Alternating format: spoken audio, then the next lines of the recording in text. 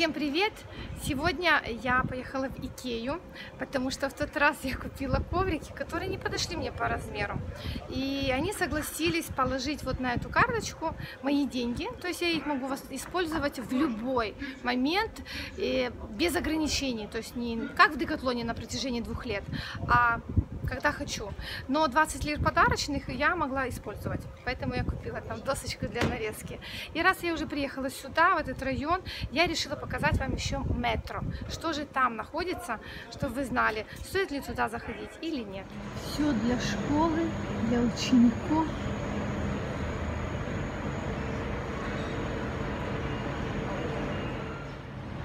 Здесь пошли уже стеллажи с игрушками для маленьких. Ну и машинки тоже. И школьная доска. Столик. Целое отделение полотенец, простыней, маленьких ковричков. Такие здесь простыни. Спортивные товары, тренажеры и спортивная форма. Спортивная обувь, также тапочки, ну вот такие, 84 лиры. Ну, понимаю, что все к евро, к доллару равняется. Ну, цены, конечно. В этом отделе находятся товары уже на скидках. Ну, например, рубашка 20 лир. Ну, есть и по 40, и по 50. Например, была 59,99, сейчас 39. Курточка была 149, сейчас 119. Я смотрю, здесь именно только мужские товары. Вот, 99 было 79. Штаны, рубашки. Вот, 29, а была 79. Я уже без копеек говорю вам, пожалуйста. Я... 99, это вы сами понимаете, что почти на всех ценах идет это 99. Вот была 24 и стало 14. Там цветные, а здесь именно для отелей белое все. Вот подушки по 40 лир. Мне кажется, это хорошее качество. Но не знаю, это надо сесть и попробовать. Ну и такие обычные подушки по 60 лир. Ортопедические. Ага, мягенькие. А эти нормальные тоже 60 лир. То есть разницы в цене нет. И одеяло. Это тоже силиконовые подушки по 25 лир. Видите? Это, наверное, тоненькие они. Ой, боже! Вообще-то, вообще-то нюсенькие. Ну, например, у нас в отеле очень много гостей просто звонили и просили принести именно тоненькие подушки. Стулья для офиса. А вот здесь сумки для ноутбука. Но я смотрю и по 95 лир, и по 200, и по 44, 54. Разные цены. Магнитофоны и еще какие-то штучки, которые я не знаю даже, что это. И телевизоры здесь тоже продаются. Обувь для работников. Также здесь есть утюги и стиральные машинки, и э, для чая специальные машины, чтобы готовить, холодильники, Ой, пылесосы. Есть подушка вот эта темная, она очень твердая, а есть помягче, чтобы посветлее. И все для машин. А уже кастрюлек, сковородок, чайничков здесь очень много. Я видела и обычные весы здесь продаются, и вот маленькие тоже есть по 109 и 90 лир. По 4, по 3 лиры. Это не стекло, оно выглядит как стекло, это пластик. Но очень удобно, тогда не побьется хотя бы. И вот для сладостей. Какая красота, я прям кушать захотела. Здесь уже подороже, по 8 лир, а вот тоже по 3 лиры. Ну, вот такое уже используется для запекания сютач.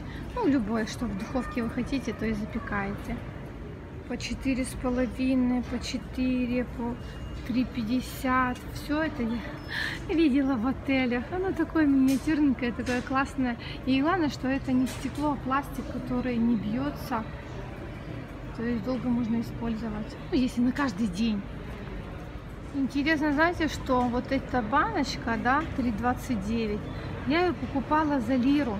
И в Кипе, если я не ошибаюсь, или в Аюсбир, она до сих пор одну лиру стоит. А здесь 3,29. Поэтому я вам не скажу, где дешевле. Должны сами сравнивать цены. То есть выбор тут большой, а вот где дешевле, я не знаю. Смотрите, шейкер 100 лир, 75 лир. Я не думала, что они такие дорогие. Ложечка вот 7 лир. Паша Бахче, ну, его посуда, в принципе, этой марки всегда была дорогая, но качественная. Ее любят турки. Корзиночки, разные свечи. А здесь у нас вот как для пиццы. Ну что, как? Для пиццы. Для хлеба. 33 досточки вообще интересные, конечно. Подача. И пошли подносы по 6 лир, по 8, по 12. Но здесь уже подороже 22. Вот такие по 5 лир у меня были для масла.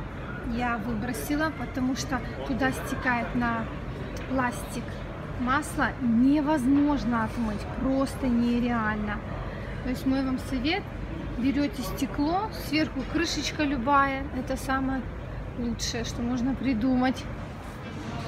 Большой выбор разных стаканов на 4 человека, 69-99 набор с трех блюд, то есть там 12. И здесь вот эти кокосовые корочки 30 лир, а в Икее они дороже. Ведра, корзинки. Порошок здесь дешевле, чем в Мигросе на пару лир. Целые склады шампуней, бумаги. Оптовая закупка здесь будет на одной пачечке, может быть разница 30-50 копеек, не больше. Если, например, приезжают рестораны, какие-то фирмы, они должны иметь карточку, и вот тогда они могут купить оптом. Там идут пищевые красители, а здесь такая вкусняшка пошла, карамельный соус и всякие разные соусы.